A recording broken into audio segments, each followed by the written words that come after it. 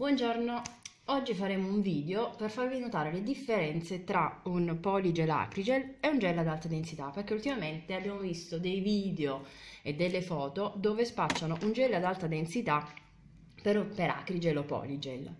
Io avevo provato, come sapete perché ho messo varie foto e video, Glam, Sabellesa, Beauty Space Nail e Morgana, 4 uh, acrigel ottimi, certificati, conformi secondo le normative europee e ho preso un clear, un nude, un white, scusate, e un cover per farvi vedere giusto la differenza. Sono tutti e quattro ottimi. Come sapete l'acrigel o polygel viene prelevato con una spatolina e poi posizionato sull'unghia per lavorarlo. Io l'ho già fatto in precedenza, c'è il white, il nude, il clear e il cover. Sono tutti e quattro ottimi, come sapete non si muovono, vi date il tempo di lavorarli con il cleaner tranquillamente. A confronto ho preso due gel ad alta densità di Beauty Space Nail, Jelly, un gel monofasico e un cover di We Are. Come vedete, a impatto vi potranno sembrare simili, ma non è così, perché comunque se osservate attentamente si vede tranquillamente che sono dei gel ad alta densità e non degli acrigel o polygel. Anche già la colorazione è differente. Inoltre, a differenza dell'acrigel, il gel potete provarlo tranquillamente perché si preleva col pennello senza lasciare filamenti, cosa che succederebbe invece se voi prelevaste l'acrigel o il polygel col pennello perché lascerebbe dei filamenti sotto di sé e poi naturalmente potete posizionarlo. Essendo ad alta densità, a primo impatto potreste dire che è uguale, ma non è così perché innanzitutto sapete che non si lavora con il cleaner e poi si lavora tranquillamente col pennello portandolo dove volete.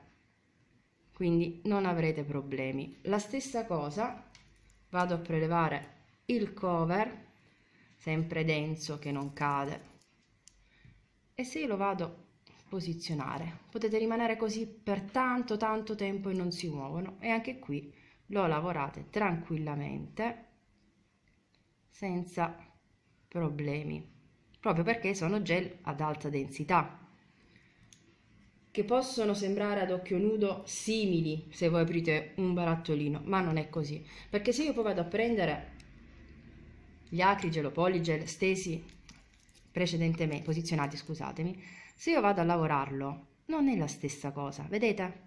Se io non vado a fare con il cleaner, non vado ad aiutarmi col cleaner bagnando le setole, rimane tutto appiccicaticcio, guardate, e lascia dei filamenti, cosa che il gel ad alta densità non lo fa. Quindi se io vado a lavorare qualsiasi, guardate, con un pennello pulito come lo è normalmente per lavorare un classico gel, qui abbiamo dei problemi.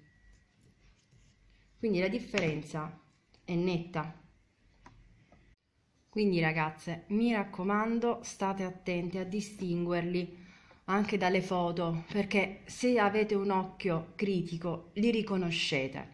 Un altro consiglio, c'è un gruppo che ancora molti non conoscono, si chiama Segnalazione Nails, è un gruppo utilissimo di Tiziana Peluso e Barbara Vocelli, sono due ragazze che si fanno veramente in quattro cercando di risolvere, capire i problemi. Lì troverete tutti i feedback positivi e negativi di ogni venditore, perché se voi andate su un gruppo di un venditore X, parliamoci chiaro, non troverete mai un feedback negativo, perché vengono cancellati.